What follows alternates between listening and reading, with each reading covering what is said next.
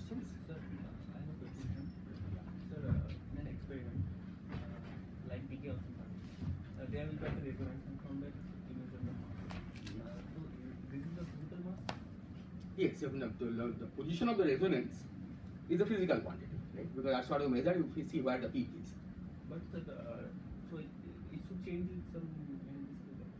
No, the position of the resonance occurs at a fixed energy, right? So it doesn't make sense to say how it changes with energy. Okay, suppose you are doing E plus E minus scattering, right? You are looking at total cross section, how it's changing as a function of energy. You see at what point you have a peak, right? That point is a fixed energy, right? So that's a physical quantity. Remember, the whole curve is a physical quantity, right? So then uh, what's the meaning of that uh, physical mass changes the? Physical mass never changes. Only the parameters can change. Right? The physical mass never changes as a function of the energy because physical mass, by definition, occurs at a specific value of the energy. Right? It's it's a pole in the Green's function. Wherever that pole occurs is a physical mass.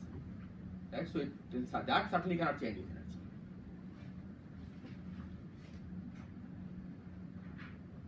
Okay, the mass parameter may change with energy.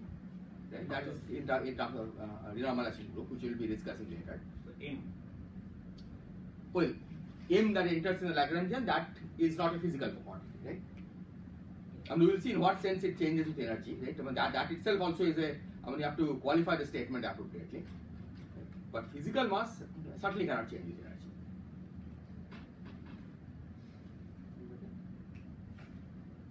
Other questions?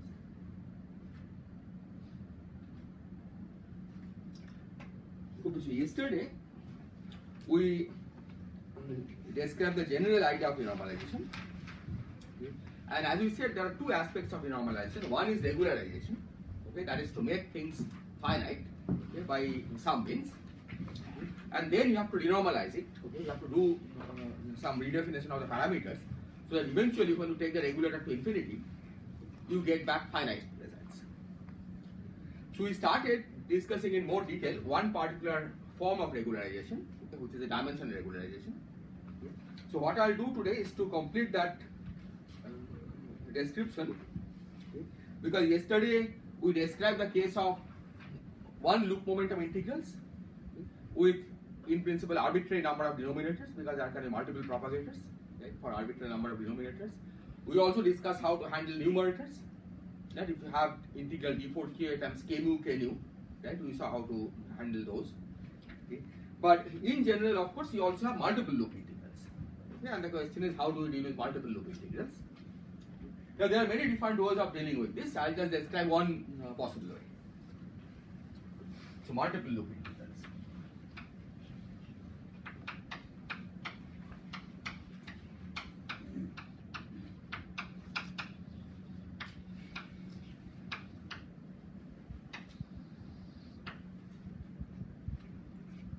So suppose we have some integral like d4l1, d4 ln over 2 pi. Let me change it to d because I have to do. So for each L integral comes with a factor of 2 pi to the d in the denominator. But now suppose that we have a product of i square plus mi square in the denominator, but this can run from 1 to n. So m loop momentum integrals and n denominators. What are these ki's? These ki's are linear combinations, linear combinations of li's and external momentum.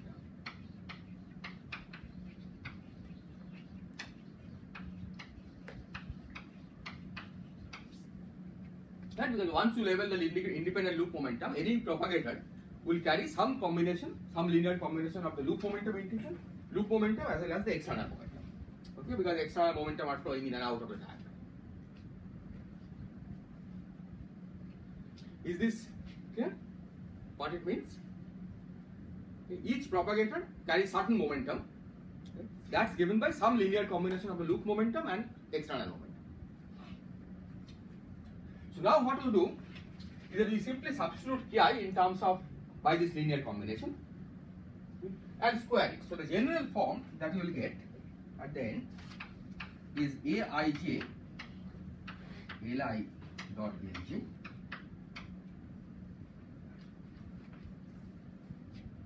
oh sorry. You don't do this first. Okay the first thing is to combine the denominators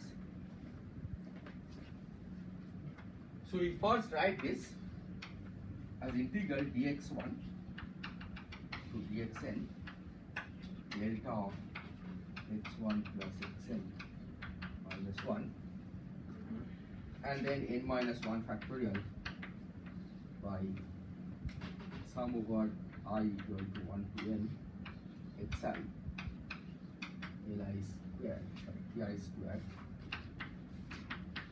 plus y square to the power n. Okay, this is by using the same rule that we described. If you have 1 over a1, a2 up to n, we can write this as an integral of this form.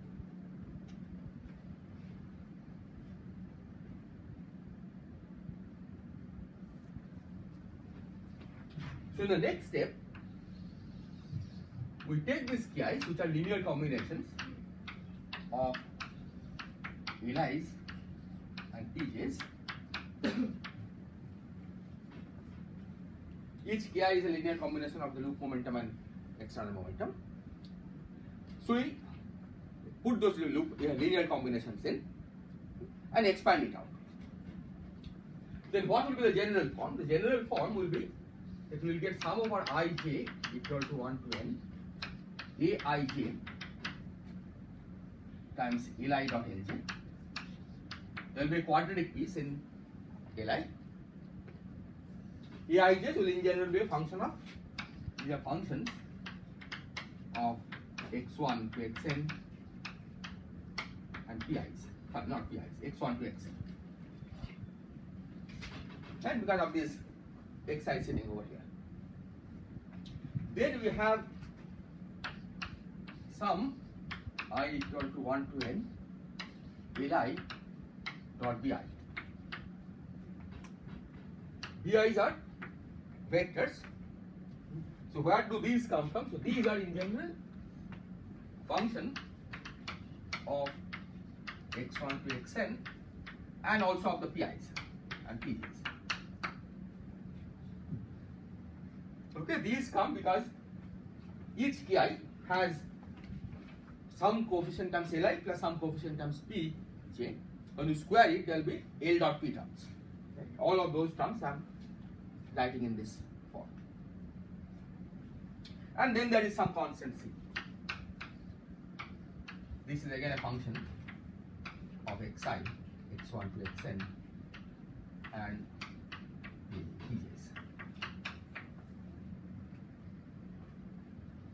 Okay, so this is the general structure. And of course, this is raised to the power.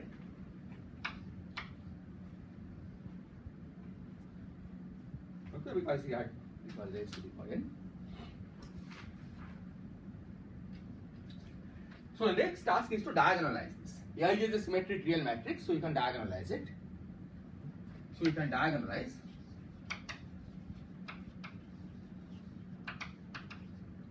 And this gives the form sum over i equal to 1 to n. Let write it as ai prime, sorry, ai times li prime square. Okay, ai, a1, a2 up to n are the eigenvalues of this matrix. These are again functions of x. Plus, here we have sum i equal to 1 to n li prime dot bi. Okay, you just whatever multiplies li prime after you have expressed the li's in terms as linear combinations of li prime, whatever multiplies that I am calling it bi. And then there is c.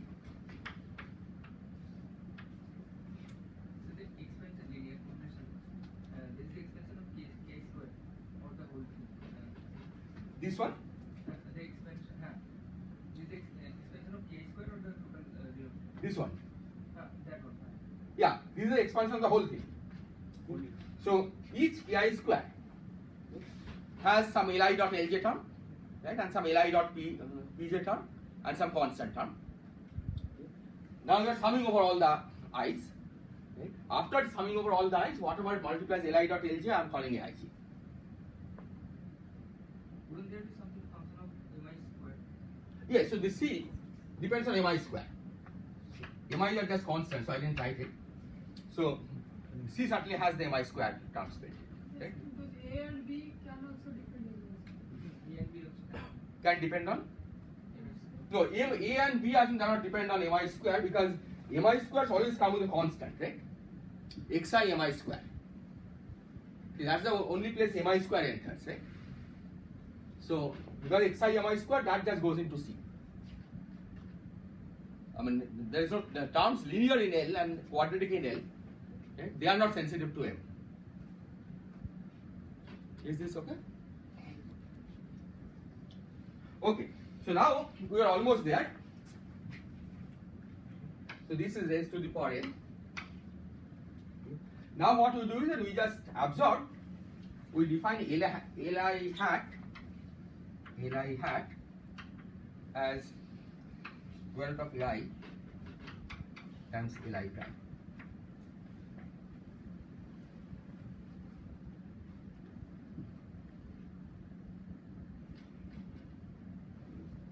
Okay, this is the definition. So then this becomes sum i equal to 1 to, uh, sorry, this is not 1 to n, actually, this is 1 to m. Because this just depends on how many m's, how many li's there are, right? Because uh, i index is carried by the loop momentum. Right? So it doesn't matter how, however many sums terms are there in the sum. Each here is a function of m loop momentum and certain amount of external momentum. Okay? So these sums run about 1 to m. So these are all from 1 to m. So i equal to 1 to m li hat square plus sum i equal to 1 to m li hat dot vi over square root of vi plus c.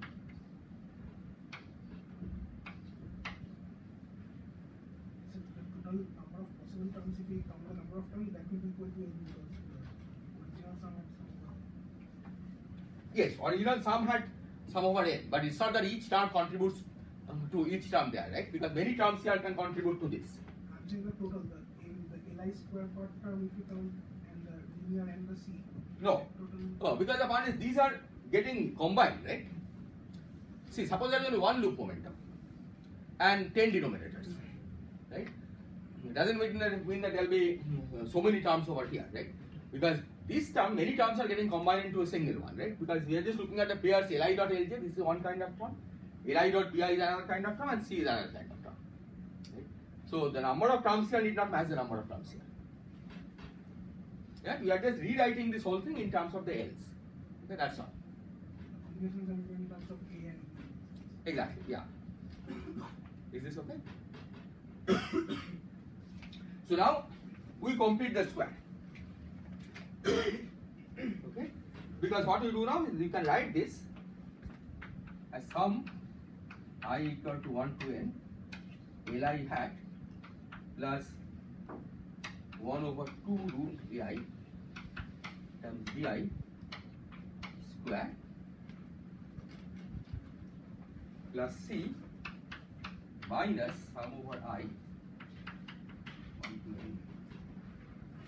Yes, this will be bi dot bi over 4i.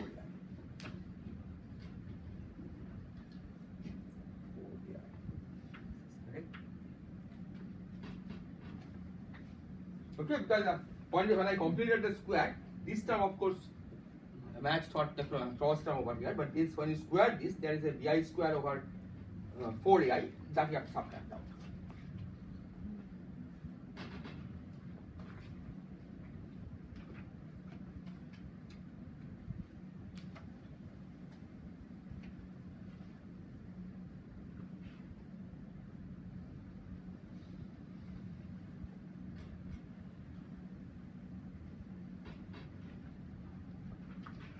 So this I am going to call L tilde. This I am going to call Li tilde.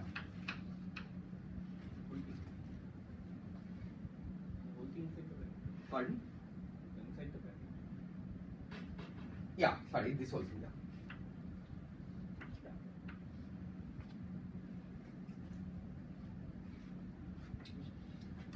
So then we get this is D4 DD Li product over I.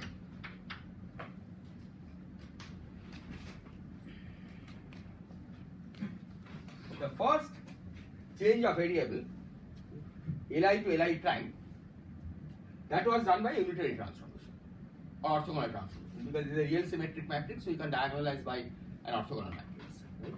So here at this level, this change in the variables didn't wouldn't uh, give any constant factor. Jacobian is just one, right? You are making a change of variables from Li to Li prime. But when you go from Li prime to Li hat, there is a square root of Li factor, right? You have scaled it, so that factor you have to keep track of. From here to here, again, this is just a shift Li hat to Li tilde, so no factor. So basically, you will get that this becomes Li root Li to the power t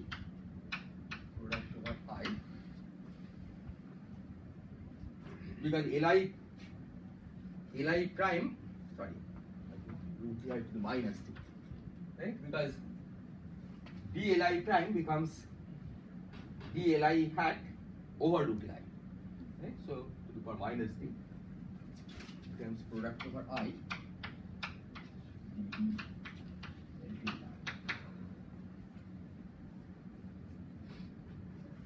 Yes. I should have no I equal to one to m and then there should be one raised power n.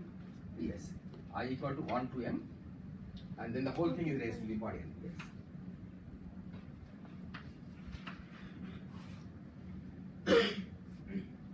okay, so this is what we get in the change of measure. So then the original integral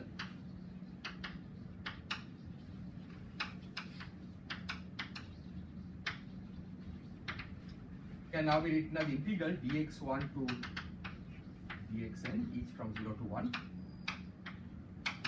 There is delta function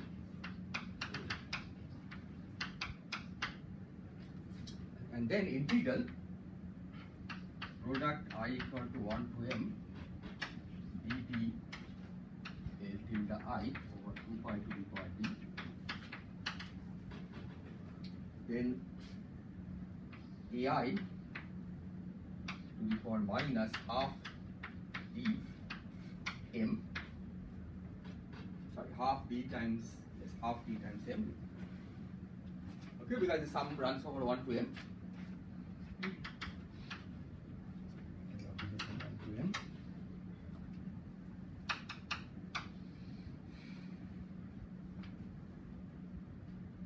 And then we have the denominator factor, which is 1 over sum over i equal to 1 to m L tilde i square plus this whole thing I'll call C tilde. This thing over here, let's call C tilde plus C tilde. there is n minus 1 factorial which came in writing the product in this form.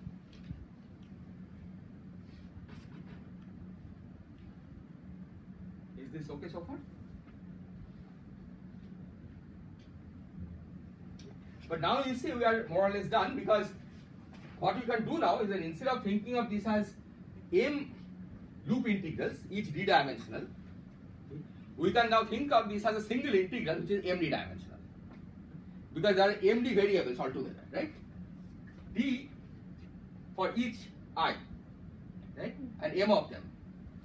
So md variables, you are integrating over md variables. And this we can think of, instead of thinking of this as m vectors, each of dimension d, we think of this collection of all the li's together as a big vector of dimension md. Is that clear? Okay, so let me write it here.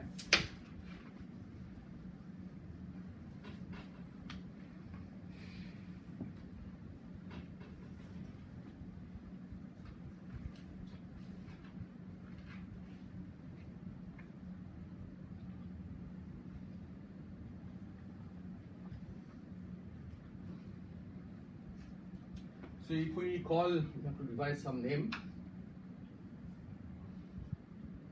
Say L bar as L1, L2 up to Lm.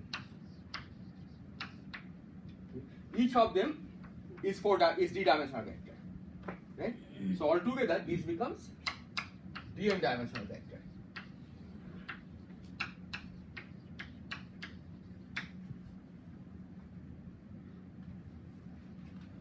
So then this integral I can write as integral. Okay, this of course can be taken out because AIs are independent of L, right? They are just dependent on X's, but they are independent of L's. Sir, Yes. uh, what the m coming here? The m coming Yes. here. Oh, because here the product of m such objects, right? For each uh, Li you observe this square root of AI. Well, sorry. Yeah, I think this is not true. So this I have to just yeah. I should have to think of this as product of I. Yeah. Because not all AIs may be the same. Okay, yeah, product over I, AI AI times to the power minus half t. Okay, now if all AIs are the same, then it should have been e to the minus half dm, but that's not in general the case. Okay, and so the, the point is this can be taken out of the integral. Okay, because if you follow the definition of AI, this was a diagonalizing matrix, this has this doesn't depend on the L's. Okay, or the L.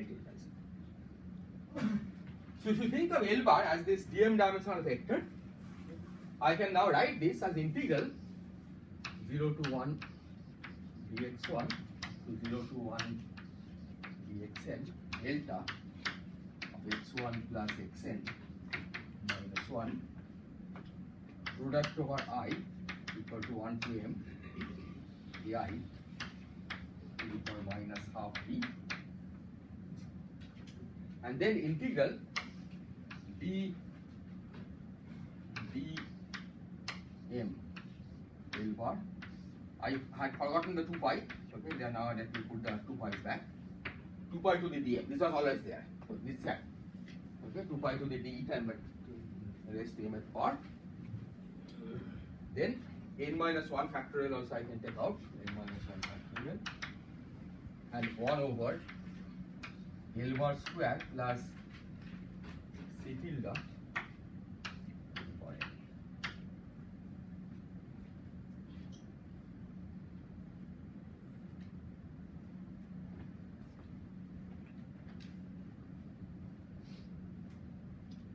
Is this okay? And now it's back to the form that we had analyzed it. Right? Except that instead of having D, you have dm. Right? But the same formula you can apply with D replaced by dm.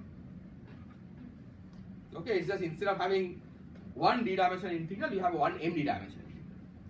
Okay? Or m d dimensional integral has been converted to an m d dimensional integral, on which you can apply the, uh, the formula that we derived last time. Okay, so you can evaluate this by the same dimension regularization formula. Now I should add that this is one way of evaluating it, and it's useful if you want to if you are trying to uh, uh, do an exact evaluation of an integral. But often to extract finite, uh, the, the infinite pieces, right, which is what we need for normalization, because you want to see how to cancel out the infinite pieces. There we'll find that there are other ways to estimate what this integral should be, right? You don't have to really go through this whole uh, procedure. But if you are trying to evaluate it exactly, okay, if you are trying to put it on a computer, okay, not the infinite piece, but you are, if you are, you are, if are interested in really extracting the finite parts, then this is a useful trick. Right? You just combine all denominators into one, all loop integrals into a single big integral, and then just use the dimension regulation formula. So the difficult part there is not evaluating this, this is straightforward, you just apply the formula that we derived. Okay? But the difficult part is that eventually you have to integrate over these x's. And there you may have to do approximations.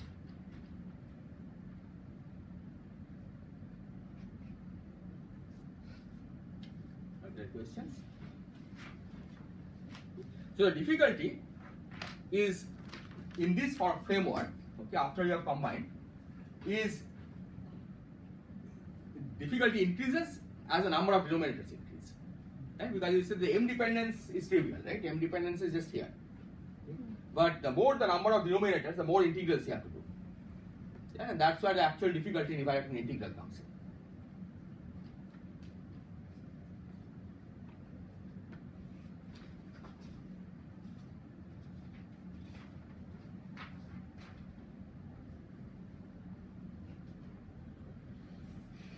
Are there questions?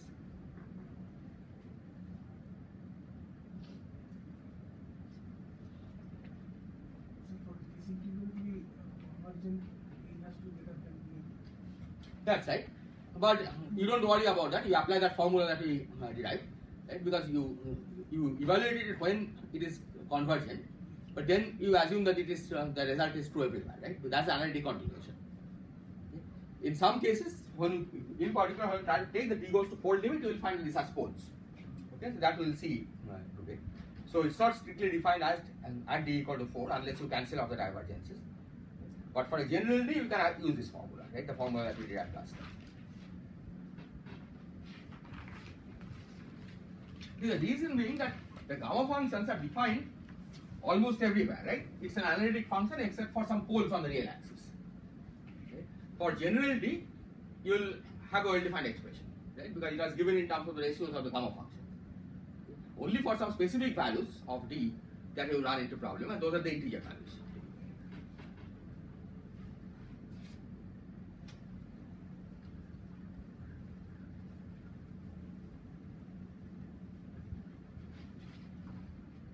Other, other questions? We'll use this notation that epsilon will be defined as 4 minus d. Okay, or t is equal to 4 minus epsilon. This epsilon is not to be confused with the i epsilon that we introduced. Okay, that is a different i epsilon, so that that will denote by this. Okay. If you know later, this is usual epsilon, this is var epsilon. they are different symbols. Okay, but anyway, I mean, I epsilon is not going to play that much role in our analysis, so think of epsilon from now on as this 4 minus d. Okay, so with this, if we just had vector fields or scalar fields, okay, all the rules that I have, we have given are uh, sufficient. But you also have fermions, right? So you have to uh, deal with gamma matrices. Okay, so you have to say something about what to do with gamma matrices. So gamma matrices, how many such gamma matrices are there for general D?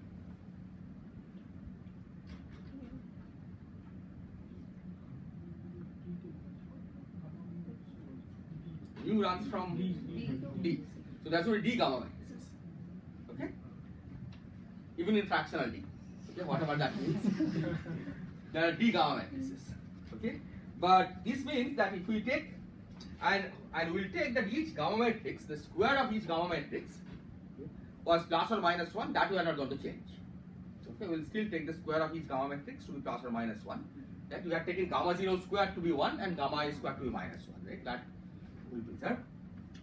So if we have something like gamma mu, gamma mu, what will it be?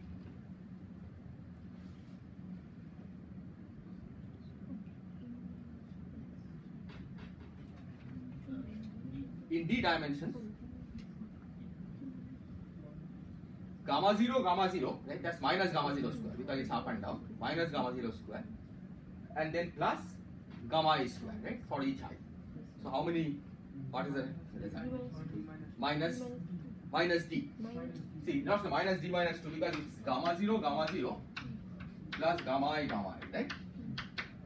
This is minus 1, right?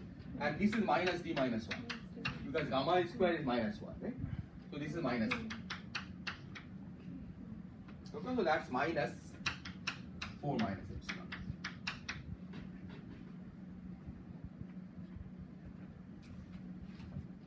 For gamma mu, gamma nu,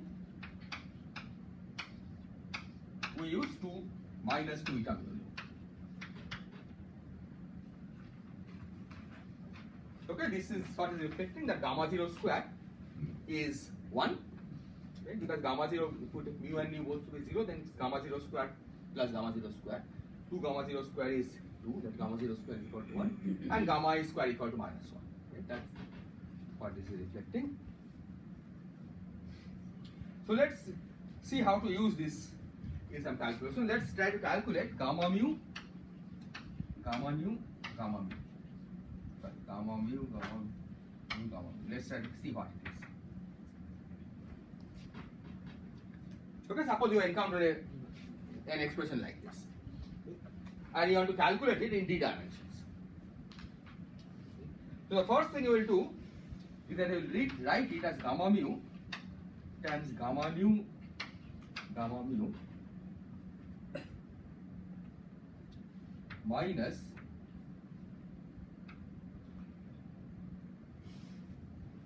minus gamma mu gamma nu plus gamma nu gamma nu.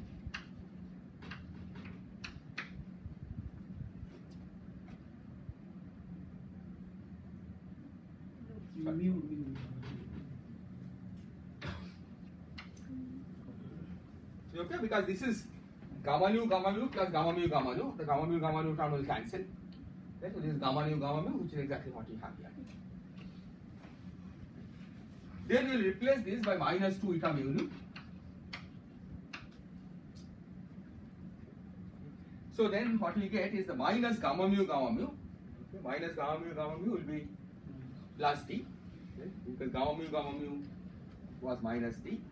So this is d gamma nu minus 2 gamma nu. Then eta mu nu gamma mu is gamma upper nu. So this gives you d minus 2 times gamma nu. Okay, which is d is 4 minus epsilon, so 2 minus epsilon times gamma nu.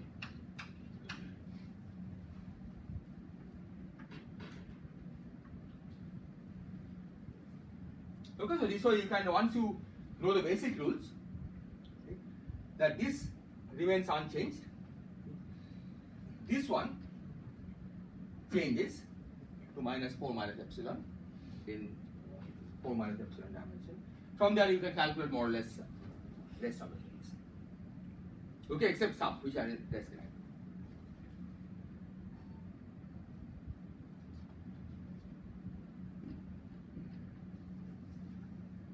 Is this clear? Clear or not? Okay.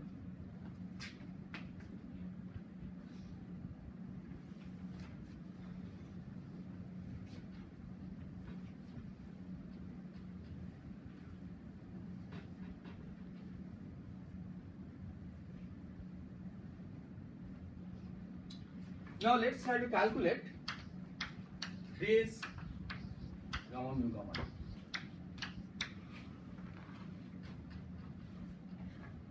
How much is it?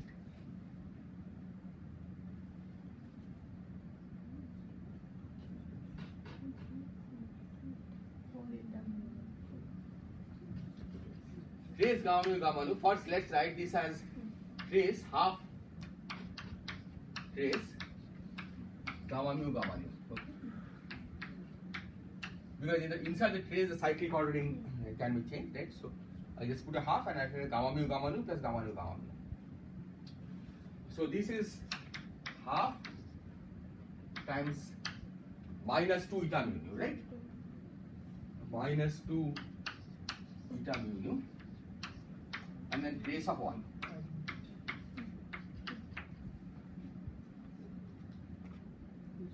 So how much is this?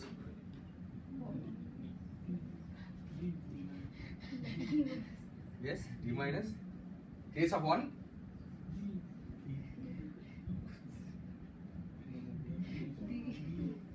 Gamma matrices in 4 dimension are 4 by 4 matrices, right?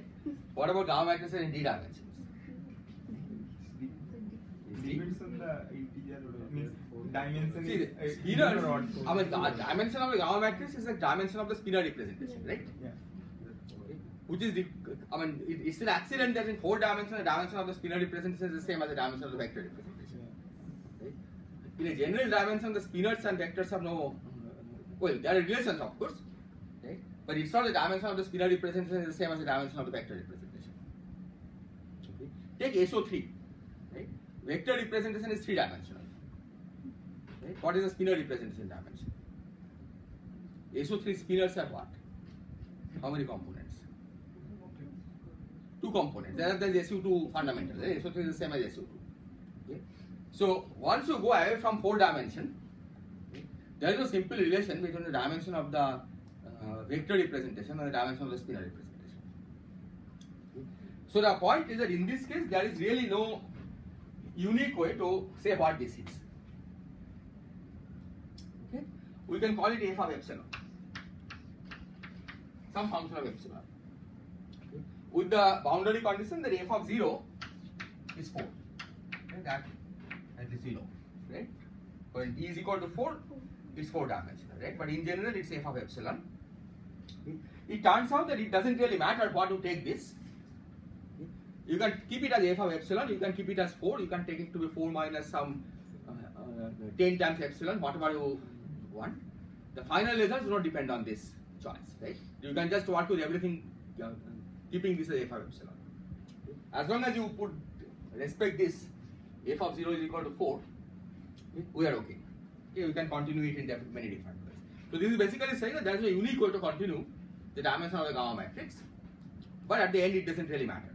Means it actually contributes in the epsilon square order. Means or yeah in Well, epsilon if linear order. In the point in is that, that, that is not good enough to say that it doesn't uh, matter because many things contribute to order epsilon term order, but there are also 1 over epsilon, 1 over epsilon square coming from the loop integrals, Yes. right? So you have to worry about whether those can combine with these to give you finite answer. Yeah, yeah. That's So the fact that it doesn't matter, that is only at the very end. That it doesn't matter how what you take f, of epsilon to be, Mhm. right? As long as it comes back to 4 when epsilon goes to 0.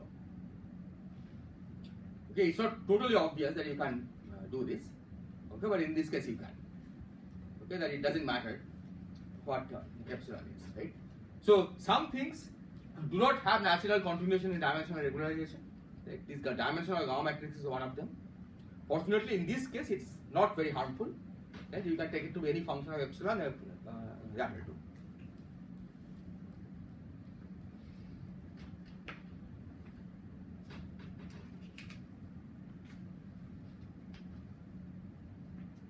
Is there any reason why taking any f of epsilon will not affect the final result, the finite term? This we can prove with some effort. Right? I'll not try to give the proof, but with some effort you can prove that this is the case.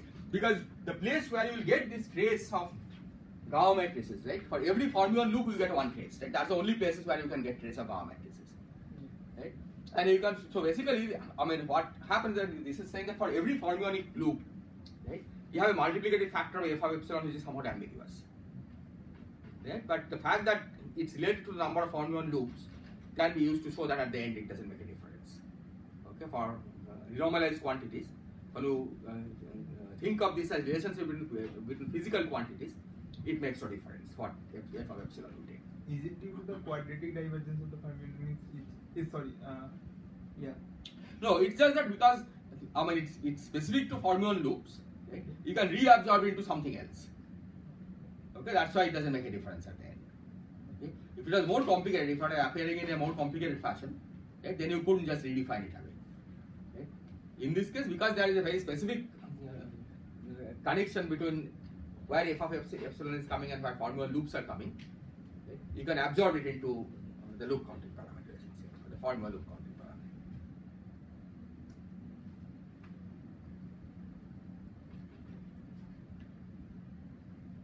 So for field theories in other dimension, we would have said f0 to be that dimension. It would have That's it, yeah. So if you are describing field theory in three dimensions, then f0 should be the appropriate dimension. Dimension. Yeah, in three dimensions. So you have to make sure that it comes back to the correct value in the limit, right? But how you continue it away from that correct value, it doesn't matter.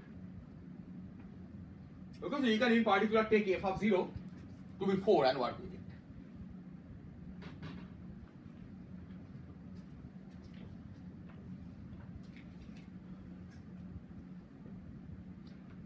Okay, now, there is another quantity we have which have to worry about gamma 5.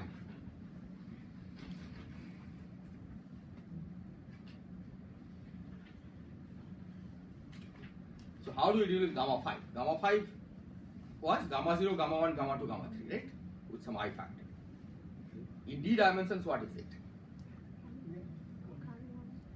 We can only define it with the anti-commutation relation with the other gamma matrix and by its. Yes. You, I mean, we can do that, but is that enough? I mean, you can define gamma matrix, gamma 5, right, by its uh, anti-commutation commutation property and uh, hermiticity, but is that enough? So in all dimension, the matrix the typically five dimension is the matrix of. Yes, but in d fractional d dimensions, Yeah. right? I mean, you cannot take product of fractional number of uh, variables, right? Square is identity. Yes. Square is identity. Where is identity? See, yes, square is identity, that is true. Gamma 5 is Hermitian, all of that is true. But uh, you have to say more. Okay, let me write one specific relation, then it will become clear what the problem is. Okay. Suppose you try to calculate trace of gamma 5, gamma mu, gamma nu, gamma rho, gamma sigma. Okay? In four dimensions, what, what is the value of this?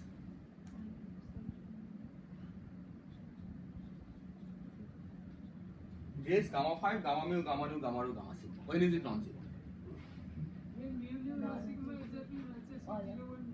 yeah. zero. Yeah. Is. Yeah, so this is epsilon mu nu rho sigma. So this is proportional to epsilon mu nu rho sigma. Okay? Is that clear?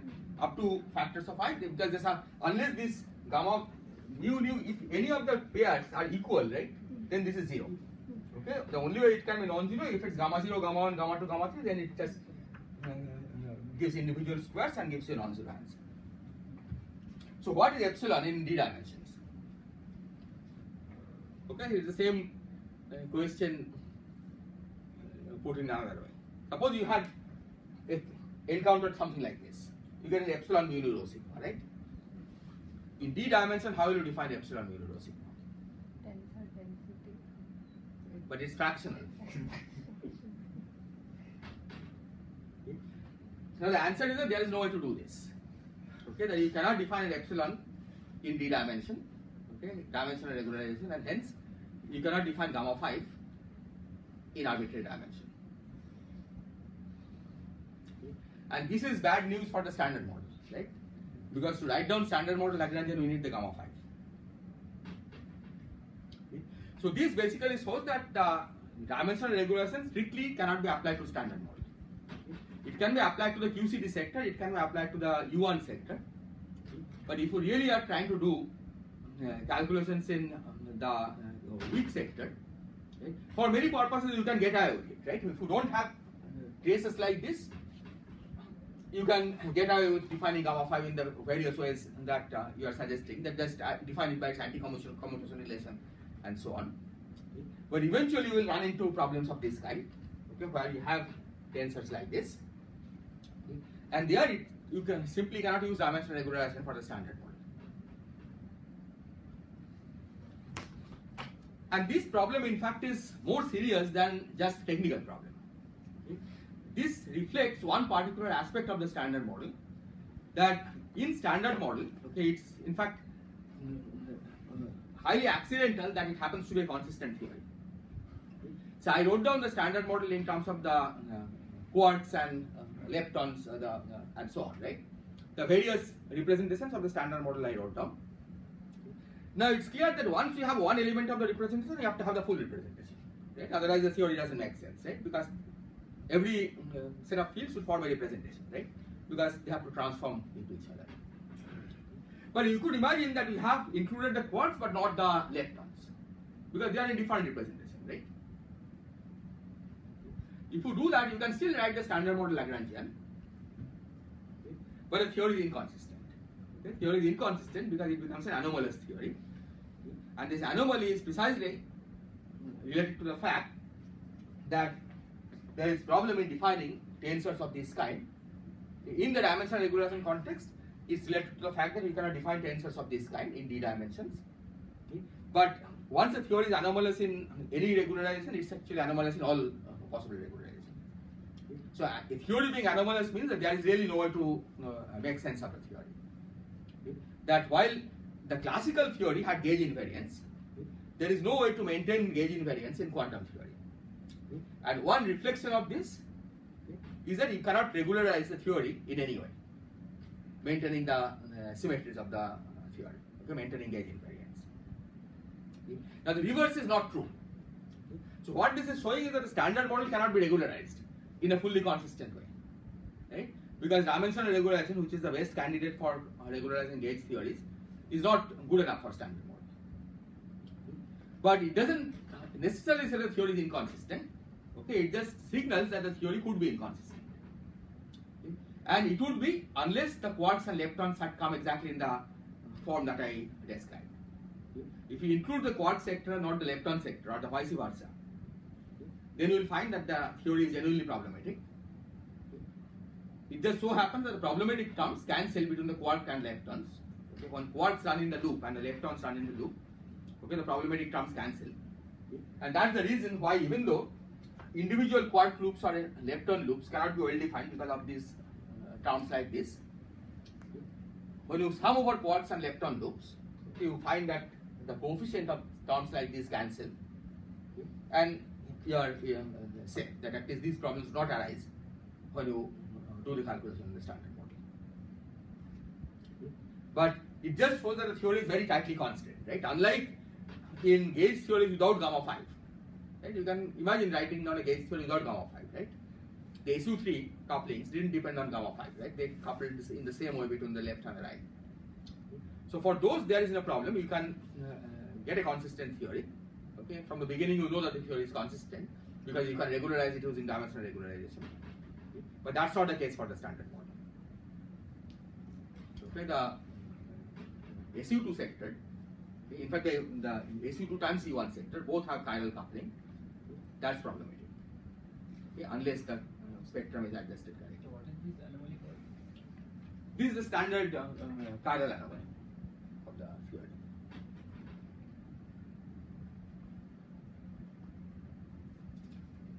Are there questions? So this is something you have to keep in mind that whenever you find that you have the gauge interaction which is sensitive, which, which has this gamma 5, you have to worry that the theory may not be consistent. If the gauge interactions do not include gamma 5, then you don't have to worry because then you know that there is a dimensional regularization which can make the theory finite without giving up the gauge symmetries. Okay, this is perhaps I should have said that what the reason the dimensional regularization is useful is because when you wrote down the gauge invariance, okay, the gauge theory, could, I could have written down in any dimension.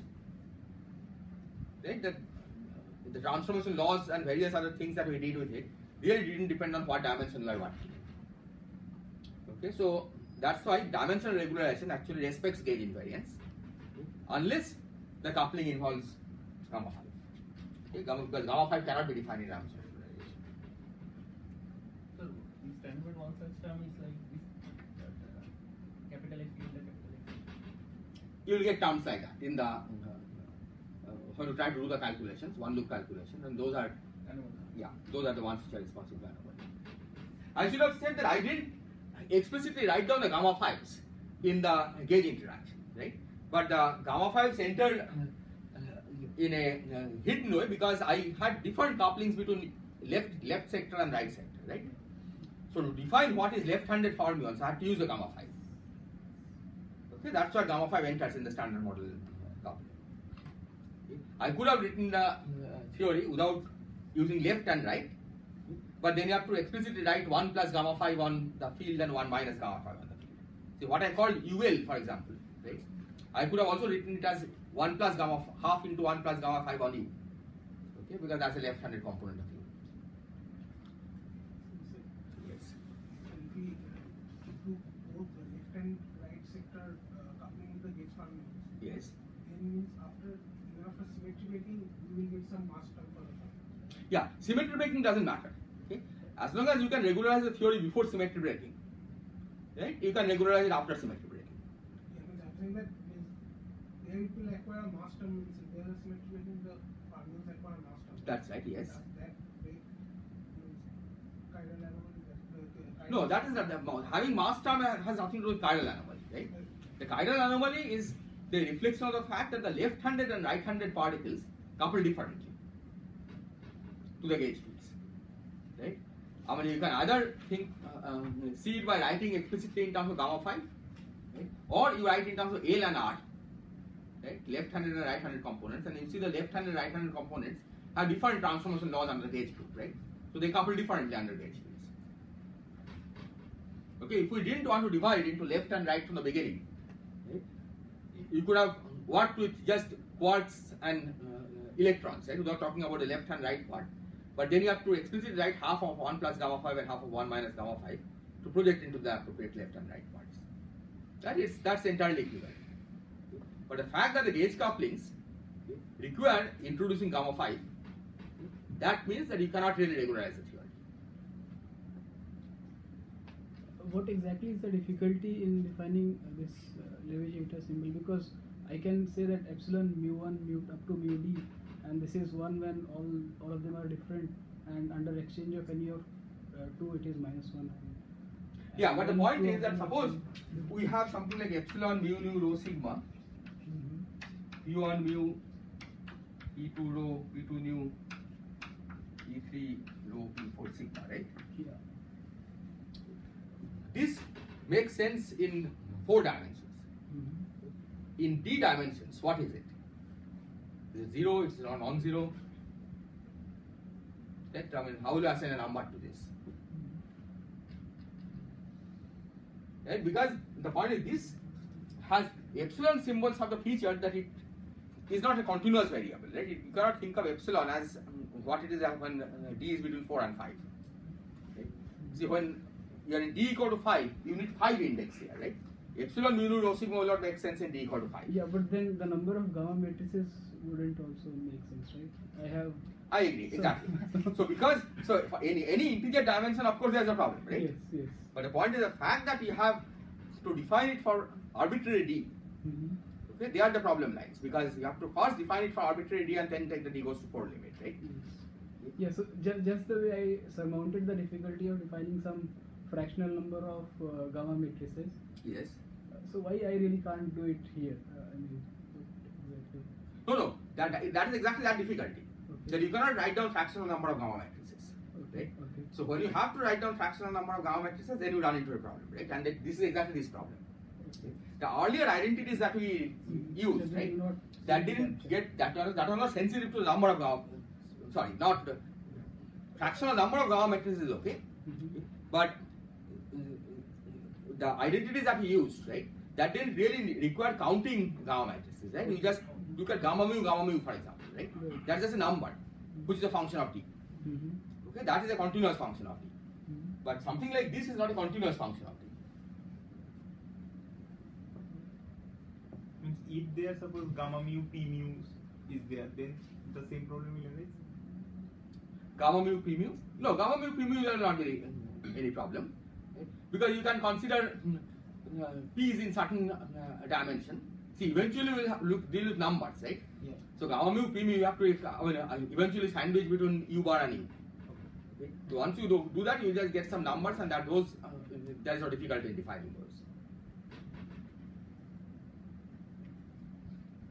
So defining eta mu in arbitrary dimension, it will also Yes, defining eta mu but you, if you look at things involving eta mu contracted, then there is a problem, right? In arbitrary dimension. See here, everything is contracted, right? Okay, but this kind of quantity, you cannot define in arbitrary dimension.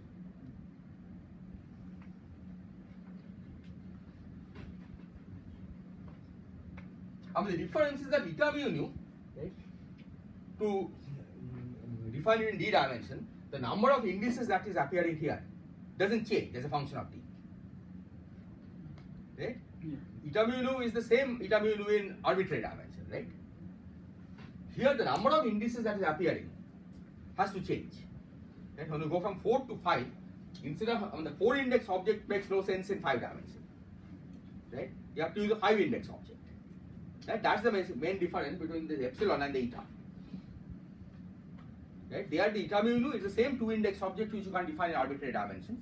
So trace of that uh, is just a function of t. Uh, eta mu nu, eta mu nu is just a function of t. Is that okay? Right? Here the problem is because the number of indices keep changing as you go from one dimension to another dimension. Okay, but still, I can I say that uh, when I take the limit, just like that f, f of epsilon, I put a boundary condition on that that when f of uh, that whatever I define it, hmm. f So in this case you cannot. That's the point. that in this case it is not true that whatever in whatever you define it, you will get a consistent answer. That if there is a gamma five, you will find that I mean, what whatever you define it, you will get different answers in different ways of defining it. Right? That's that's the problem. So that's why they said that the absence of having a regulator doesn't necessarily mean that the theory is inconsistent. Right? But if there is a regulator which preserves all the symmetries, then the theory has to be consistent. That, that, that symmetry is not broken. Right? Because even in the regulated theory, the symmetry is there. Right? So then it's clear that in any limit, the symmetry will continue to be there. Right? Here the point is once you have gone to higher uh, uh, d dimension, right, your symmetry is not there anymore because you cannot define gamma 5 in d dimension. Right? Now the question is, is it possible that perhaps when you come back to 4 dimension, the symmetry is restored? restored. The general answer is no. For standard model, the answer is yes. Okay? The particle spectrum of the standard model is precisely adjusted so that when you come back to four dimension, you actually restore the symmetry. Okay, but it's not guaranteed. It's some extra calculation you have to do to make sure that standard model doesn't have the problem. Right? Whereas if it has QCD, right, just the SU3 part, and written in the left-right covariant uh, invariant left-right symmetric fashion, then from the beginning you know that uh, gauge symmetry is there. Right? You don't have to worry about whether the gauge symmetry is broken or not, because the dimensional regulation respects all the symmetries.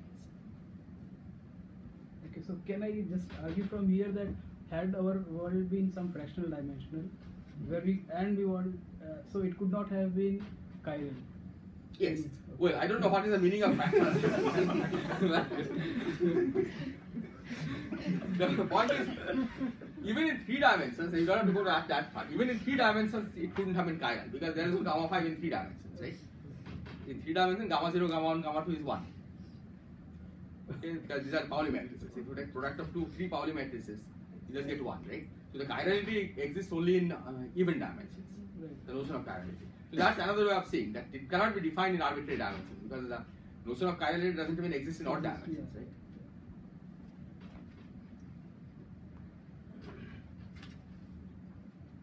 Okay, so this is as much I'll say about regularization.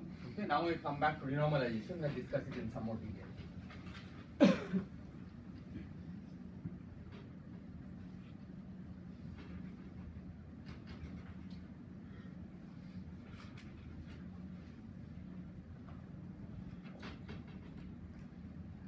So, Yes. uh, if there is no regulator exist, uh, then the st- uh, theory is uh, non-normal, non-renormalizable.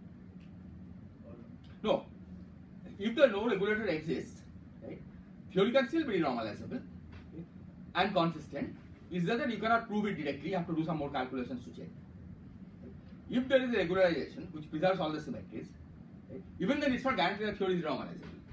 Okay, renormalizability requires something more. Okay, that will discuss. But at least it's guaranteed that the symmetries that the theory has are not broken. Okay, because the regulated the- theory automatically satisfies that uh, symmetry. So in the limit, see if something is true for arbitrary value of the variable, right? Then it's also true as, as you take a limit. Otherwise, it's not clear. Right? Something may not be true for arbitrary value of the variable, still may be true in the limit. Right? But that requires some extra effort to check. So, epsilon is literally less than 4. At, uh, Epsilon. epsilon, okay, epsilon is, so I'm thinking of 4 minus epsilon as a dimension, so epsilon you take to be positive. Because you want to continue from less than 4 dimensions, right? To regulate ultraviolet divergence, you have to continue from less than 4 dimensions, so you can think of epsilon as positive. But at the end, it really doesn't matter because the, the, uh, the quantities that we'll be defining will be finite for all epsilon around uh, 4, around 0. Right? It's only at, as epsilon goes to 0 that you have to see the divergence. See, this may look a little surprising because how is it that I am getting finite quantities by working in a dimension higher than 4? Right? In 4 dimensions, things are divergent, so how is it possible to get finite quantities at dimension larger than 4? Right? It's because of the analytic continuation. Right? That what we are doing is that we are defining the uh, uh, uh, quantity at a uh, uh, at some uh, low value of uh, dimensions, okay? and from there we analytically continue. When you do the analytic continuation, it's not even if the original quantity was divergent, the analytically continued quantities can be finite. Okay, so that so that's the trick here that that analytic continuation can actually produce finite quantities even though the original expression was divergent. So we are basically separating out the infinite part from the finite part. Well, it's not separating out. Basically, what you are doing is that you are throwing away certain constant pieces. See, it's like you, you know gamma in, integral representation of gamma function, right? You are, you are familiar with integral representation of gamma, gamma function. So the integral representation of gamma function, if you take the argument of the gamma to be negative, you will find that the integral is divergent. Okay? You can just um, uh, uh, uh, verify yourself that if you take a negative argument for a gamma function, the integral is divergent. But gamma function doesn't diverge for every negative value. Gamma function has poles on at negative integers. So analytic continuation can give you finite values, right? Even though the even though the original integral representation blows up. Okay, and that's exactly what is happening here. Right? The original integral represented as integration over uh, loop momentum is divergent for larger than four dimensions or four dimensions. But because you are doing this analytic continuation, you can actually get finite quantities, but not at four. Okay, at four you find that there's a pole. It's like one over d minus four. We'll see it explicitly that you will get poles of the form one over d minus four. Okay, But this is just a trick of regularization. There are other regularizations where you actually get genuine divergences for any dimension larger than four. Okay, At the end, it makes no difference. Okay, because after renormalization has removed the divergences, the final result is independent of what regularization you use. Okay, But dimensional regularization is useful for this purpose that here you can define it in any dimension away from 4, okay, as long as it's not integer. Okay, and you uh, can work with it. Okay, at the lem- end, you have to take the uh, epsilon goes to 0 or d goes to 4 limit. What was the reason for having this chirality only in the A dimension?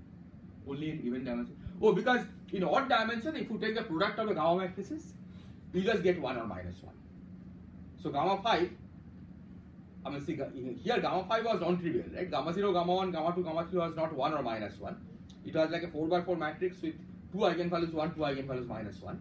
That's why it was a projection of operator and you could define left and right chiral uh, fields by this projection. In uh, three dimension, for example, right? The gamma matrices are the Pauli matrices. Okay, or one of them is I times Pauli matrix. Gamma zero is I times you can take gamma zero as I times sigma one, or I times sigma three, and gamma one and gamma two as the sigma one and sigma two. If you take a product of these, right, I sigma one, sigma two, sigma three, you just get a one or minus one. Right? You don't get a matrix with some eigenvalue one, some eigenvalue minus one.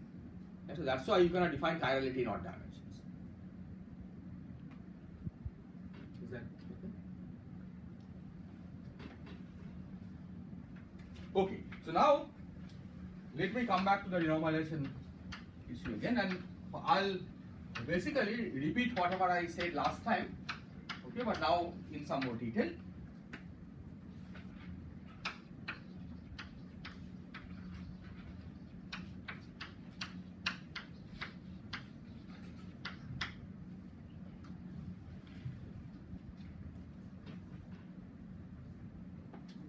So let's consider now a field theory with some arbitrary number of fields. These fields can be scalars, these could be components of vectors, these could be fermions, etc. We don't care. So we take a consider, we create a field theory. A field theory with fields phi 1 to phi n. As I said, these could be scalars, vectors, fermions, anything like that like. And parameters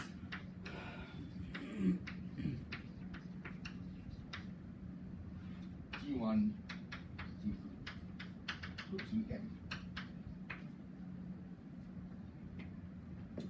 So these could be, for example, the mass parameter, the coefficient of the phi square term that arises, the coupling constant parameter, the coefficient of the phi to the fourth term. If you are dealing with gauge theories, these could be gauge fixing parameter, that alpha that we introduced, and anything that you can have in the uh, field theory, they are all included, encoded in this G1 to Gn. Okay, so this is the general situation. A field theory is characterized by certain number of fields and certain number of parameters. Is this okay? So let's introduce a notation. I'll denote by G, the vector G, this whole collection of all these parameters.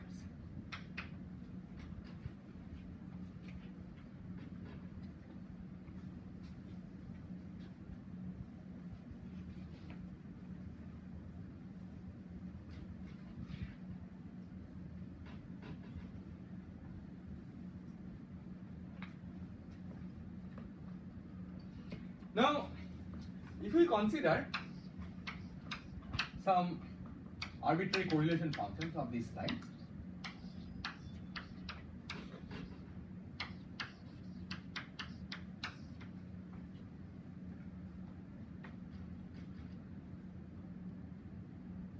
okay, let's take arbitrary correlation function i equals l equal to 1 to n. Okay, so phi i1, phi i2, phi i3. Okay, i1 can any of these n integers. So this will be a function of what?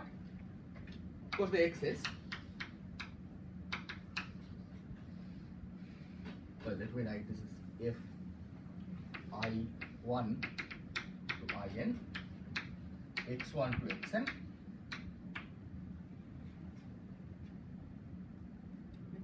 It will be a function of the coupling constants, right? G1 to Gm.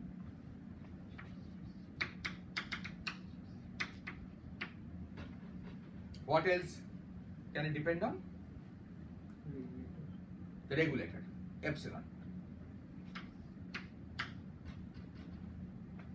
Okay, this is the most, most general form of this correlation. Why not M? And what? That M became. M, that, The initial M that you were using. capital M? Yes, capital M. Oh, we are not using capital M anymore. See, capital M was for the uh, the uh, range when you are restricted the range of L integral from minus m to m, right? Now we are not doing that. We are taking it to be minus infinity to infinity, and the regulator has been replaced by epsilon. Right? If you are using the cutoff, the momentum space cutoff, then instead of epsilon you have capital M. Right? So this is very general, right? I mean, I am using epsilon thinking that you will eventually use dimensional regularization. Right? But if you are using momentum cutoff, it will be replaced by the momentum space cutoff. So now this, the problem that we have in the in this theory is that as epsilon goes to zero, this function diverges. Right? That's that's the issue that you have to deal with. So now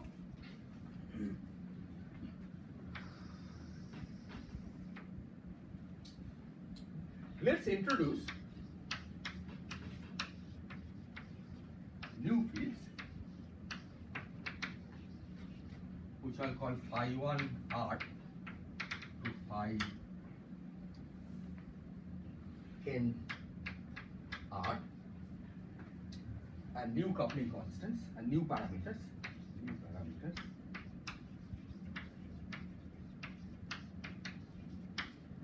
G1 r r this R basically stands for renormalized fields and renormalized parameters. So that's the that's the significance of this level R. But these are of course not new, totally new. These are related to the old ones. Related to the old ones via the following relation. We'll take phi i's, we'll, okay, we'll take the gs to be some function of gr and epsilon. So the old parameters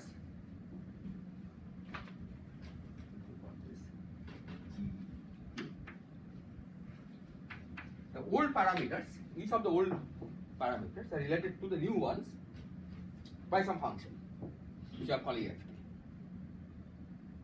Okay, I am not specifying what these functions are, but this function is also allowed to depend on epsilon. The old fields phi i will be related to the new ones. This time I am not going to allow arbitrary uh, functional form, I will allow, allow only linear redefinition. So this will be related to kij gr epsilon phi j phi j. We may let me put the x here. So phi j of x.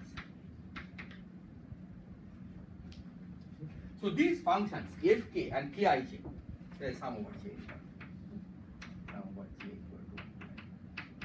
So these functions fk and kij, these are allowed to depend on the renormalized parameters gr and the regulator epsilon. Okay, I have not said anything about how we choose these functions. Okay. Right now, I am just making a change of variables from old fields to new fields, old variables to new variables, old parameters to new parameters. Phi r j. Phi, yes, thank you. Phi j r. These are the renormalized fields.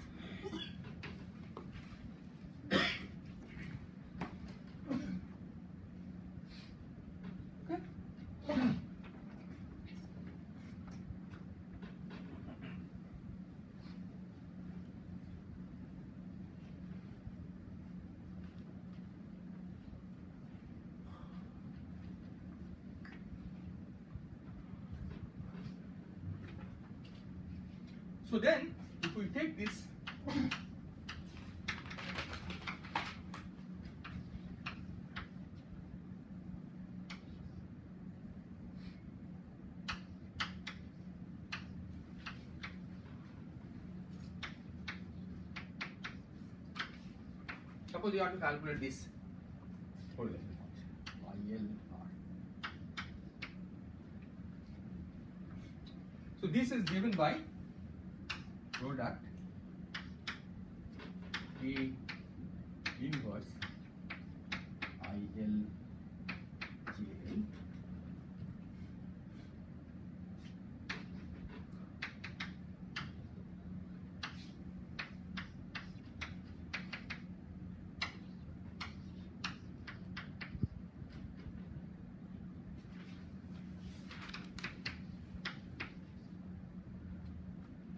X, this should be XL.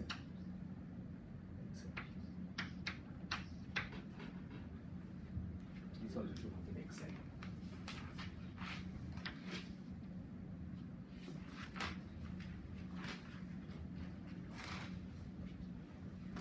Okay, I'm calculating the correlation function of the renormalized phi's. But the renormalized phi's are after all related to the unrenormalized phi's by this relation, right? As a matrix, it's the K inverse acting on this. Is okay? The phi j is K inverse Gi phi i. Think, think that's what I have written here. Can you explain the notation phi i l? Phi il for l equal to 1, Mhm. it's phi i1. Yeah. I1 is one of these capital N entries, Yeah. I. I okay. Yeah. right? So phi i1, phi i2, phi i3 Mhm. up to phi i small n. Mhm. So this takes values from the set 1 to n, capital N. Okay. Right? Phi i1 could have been the third component of a vector field. Okay. Okay, if i1 could have been take, could, could take any of these n values, which could be third component of vector field, right? I2 could be a scalar field, and so on. Okay. Right? I didn't write phi 1, phi 2 because phi 1 to phi 2 are already assigned some fields, right? Okay. So the first field may not be the first field in that list. Exactly. Right? That's why I wrote IL. Is this clear? So this is okay. Right? This is I just use this to re-express the renormalized field correlation function in terms of the unrenormalized ones. But these, of course, we know what it what they are, right? These are f j1 to gn x1 to xn and then g1 to gm epsilon.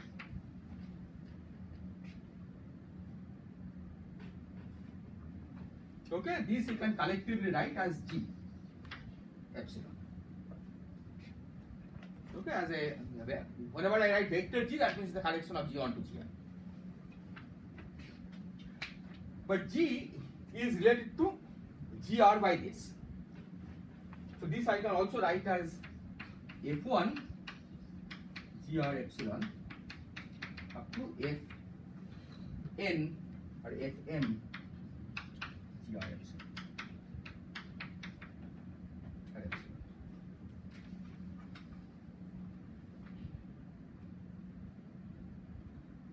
Okay, these also depend on gr and epsilon. Yes. Some summation of phi should be there. There was very no constant on what f should be. No, capital F we didn't put any constant. Okay, we'll see later that we'll put some constant, but at this stage we have not put any constant. Okay. So you have not done much. All you are saying is that these were divergent. Right? Uh, we eventually extract some finite quantities. Okay. So you define new fields, new couplings. Okay. And using this relation, the same relation, that finite epsilon of course is finite. Okay. So you keep epsilon finite, we use this relation, and then just use these to instead of calculating this, we calculate the renormalized uh, Green's function. Okay. And instead of expressing in terms of the old couplings, we express them in terms of the new couplings. Okay. That's what we are doing here.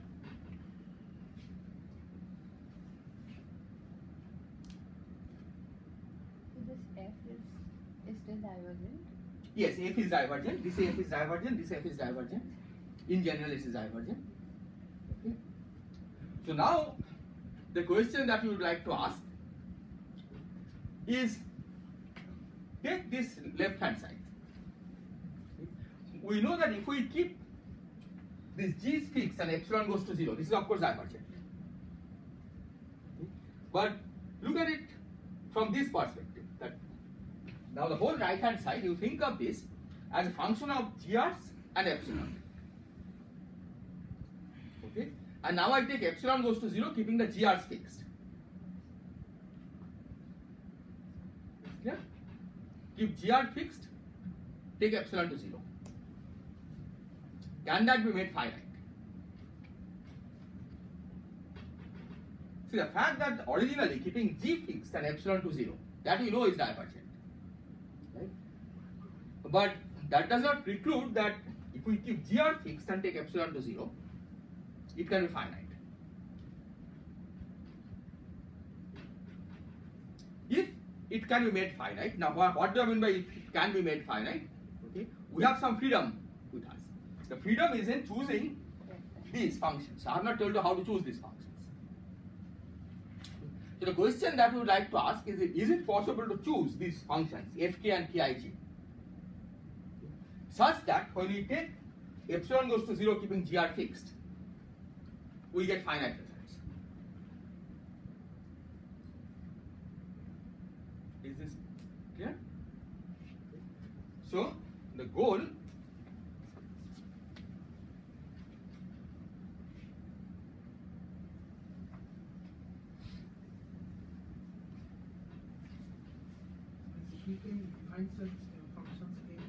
positive, you know, Yes, exactly.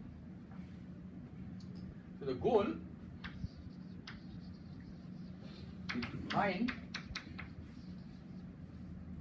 f k gr epsilon and aij gr epsilon such that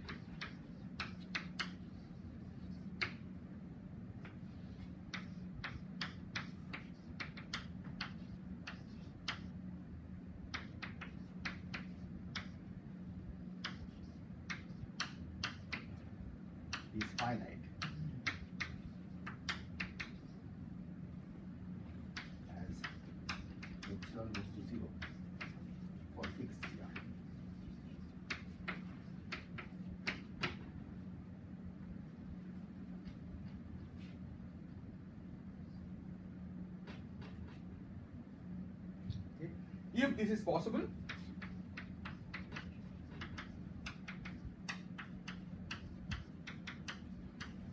for all correlation functions.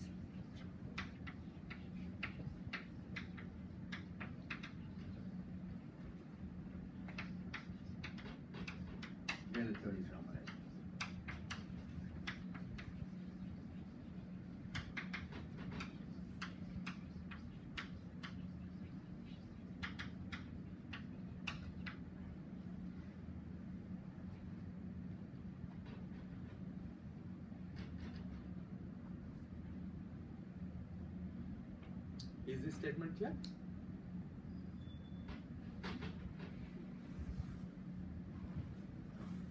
Now, you would have noticed that we are doing, we are now demanding something which is a little more than what we were doing yesterday. Yesterday we were demanding only that the S matrices have to become uh, finite, right? By, uh, in the epsilon goes to zero limit. Now you are demanding not just the S matrix, but the correlation functions themselves should become finite. Now, if the correlation functions are finite, then it's clear that from this we can extract finite S matrices. Because after all, suppose the correlation functions have been made finite, right? Then how do we calculate the masses?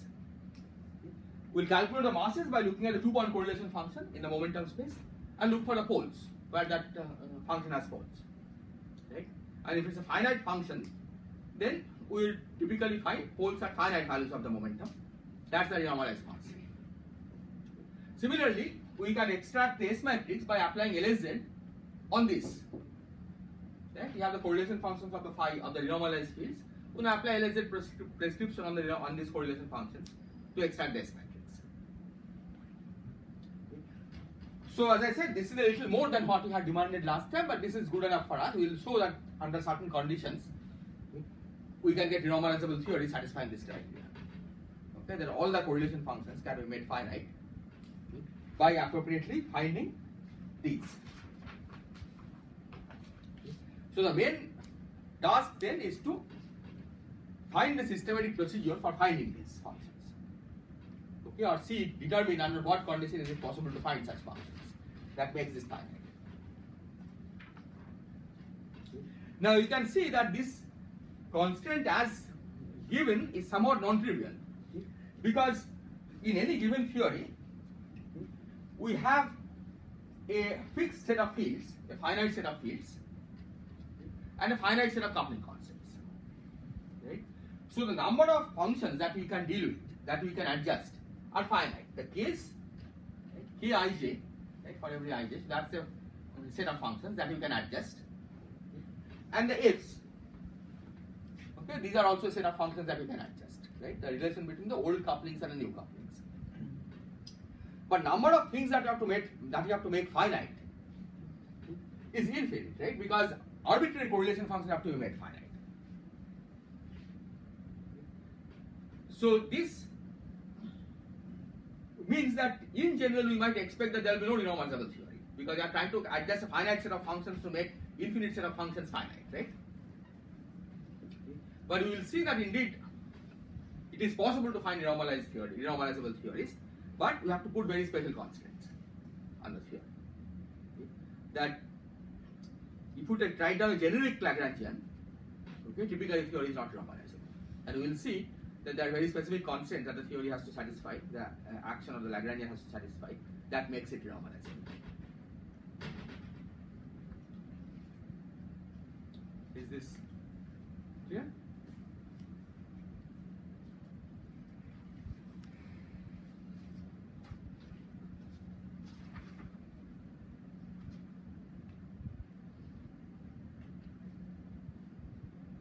Maybe I'll just say one more thing and then I'll stop.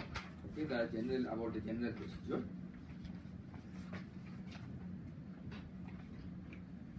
So our goal then is to try to look for these functions, f and k. Okay, how do you go about doing that?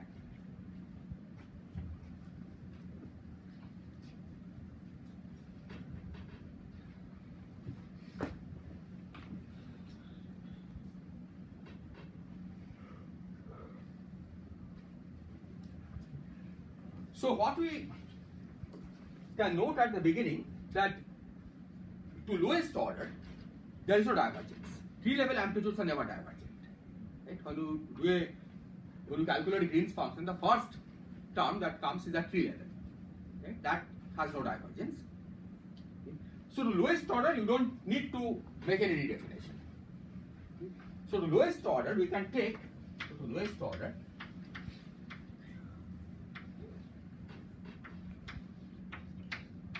lowest order Dij is delta ij. We can take, we can take, and fs or gr as fk as gkr. Okay, that's the identity transfer. So you don't make any change of. That means this basically means gk is equal to gkr and phi i r equal to phi i. Okay, normalized fields and unnormalized fields are the same. Is this clear? Is that the statement that we don't need normalization at lowest order? So you can. Pardon? No, GKR. We want to make sure. See, the GK expression for GK is GR. FK of GR epsilon, right? We want GK is equal to GKR, Oh, right? Because, because our relation was GK is FK of GR epsilon, right? This is the relation we wrote. If we want GK is equal to GKR, right, then this function I have to choose to be just GKR. That will give the renormalized parameters and unrenormalized parameters to be the same. Okay, and this will guarantee that the normalized and unrenormalized uh, fields will be the same. So based on this, we can now take the general form. The general form.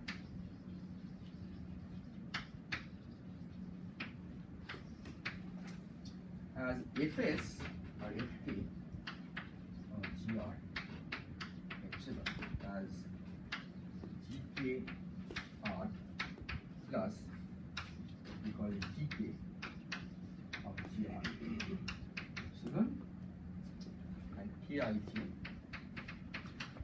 of gr epsilon as delta ij plus del ij of gr epsilon and the special feature of this is that these are small. These are contains at least one parameter, one part of the expansion parameter, or of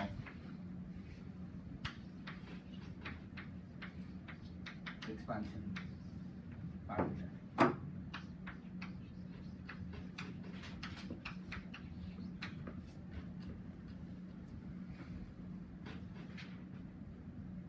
Is clear?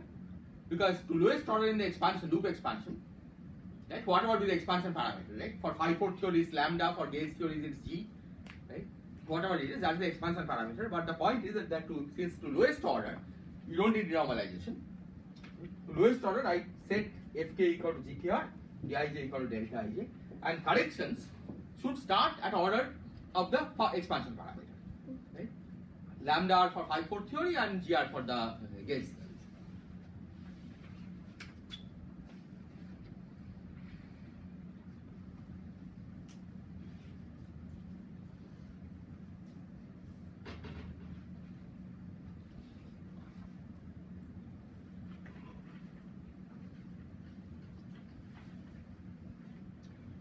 So if we now take the action, the action was a function of the fields phi i, a functional of the fields phi i, and a function of the coupling constant gs.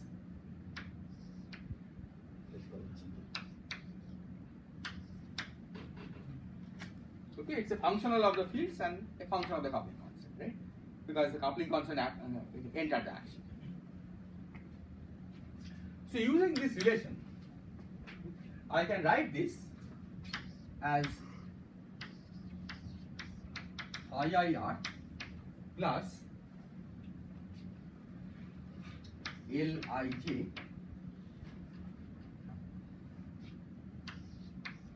IJR and GKR plus GK GRH.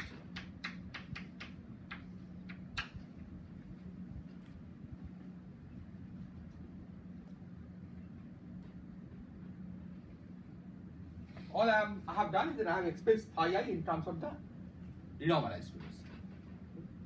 And I have used the fact that Kij, which is supposed to multiply the renormalized fields to get i, has a delta ij as a leading term and then there is a small correction in and similarly for the coupling constant. Is this okay? Now as I said these are in some sense small because these contain expansion parameters. Right? Both of these Lij and Gk have at least one part of the expansion parameter. So what I can do is that I can now write this as IIR GKR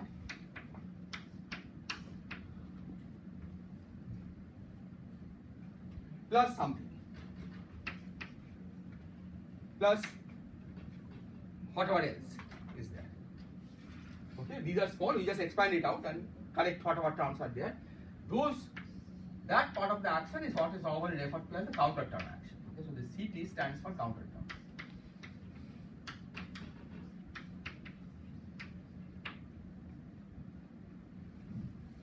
These are more or less the same form as the original action, right? Because after all, it's the same form of the action, right? We are just separating out certain terms okay, and calling them the counter term action. But the main point about the counter term action is that this contains small parameters. Each term in this action, in this counter term action, contains at least one part of the small parameter, right? Because this is coming from Lij or Gk or some products of those. Is this point clear?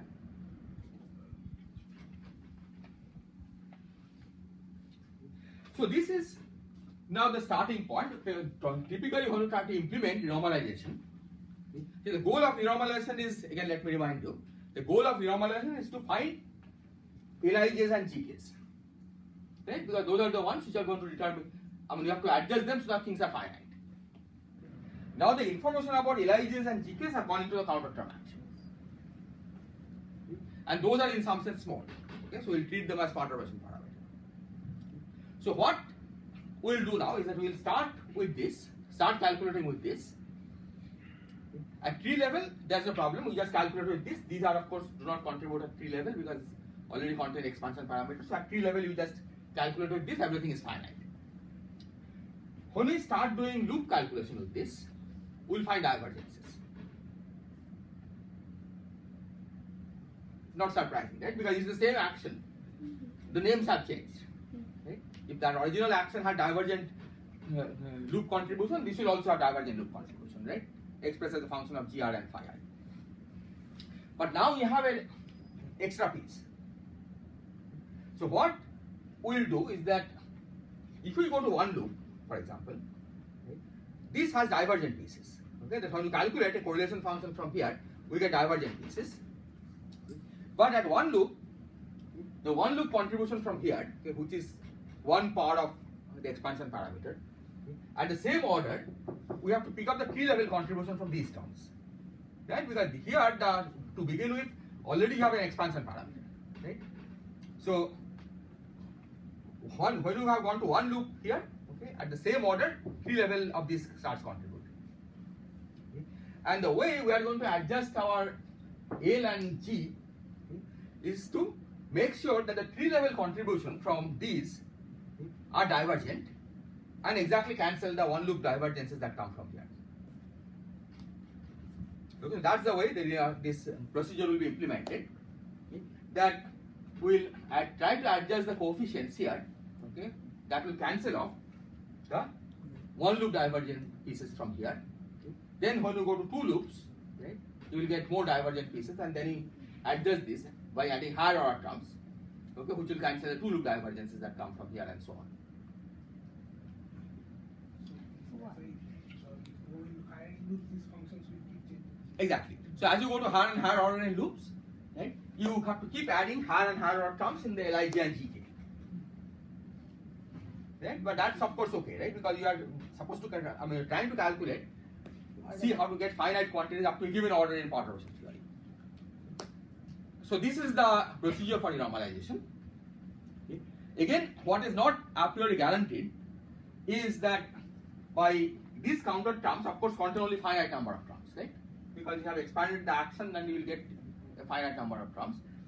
That by adjusting this finite number of terms, you can cancel off the divergences on all amplitudes, right? That's what you have to make sure.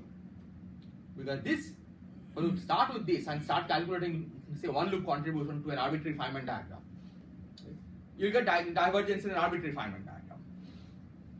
But you want to cancel that off, okay, all those divergences by only adjusting a few terms here. Okay, and we will see that in a certain class of theories that can be done. Okay, and those are renormalizable theories. So the gauge be maintained. Yeah, we are not worried about gauge invariance right now. Right? Dimensional regulation, as I said, maintains gauge invariance if there is no gamma 5. If there are gamma 5, then you have break gauge invariance in the intermediate stage and then you have to check at the end whether your gauge invariance is maintained or not. But of course, when you do this calculation, it has to be done on a fixed gauge. Right? That way, there you are already breaking gauge symmetry. We'll see later how we can uh, see the reflection of gauge invariance in this BRST uh, symmetry, but that is a separate story. Okay, that we'll discuss later. Right now we are forgetting about gauge invariance. We just want to see how to make things finite. Right? And later on we will see whether what we have done to the gauge invariance. So how will you get how do you get uh, divergent terms from tree level uh, Here, here? well suppose I add a term 1 over epsilon gr square phi to the 4. Right? So the tree level contribution that we'll get from the 1 over epsilon gr square, we have 1 over epsilon gr square, right? So you are not demanding that these functions are finite in the epsilon goes to 0 limit, right? These functions have to diverge because those are the ones which are going to cancel the divergence. So we'll get explicit 1 over epsilon, right? But there will be a higher power of gr than what was at the tree level. Right? There it was gr starting at gr phi to the 4. Right? Here it will be something like gr square phi to the phi to the 4. And this coefficient you have to adjust to cancel off the divergences.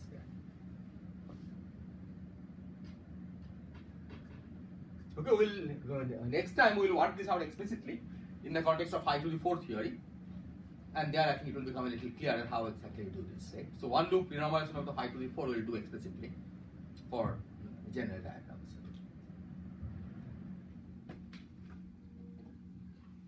Okay, so you will continue.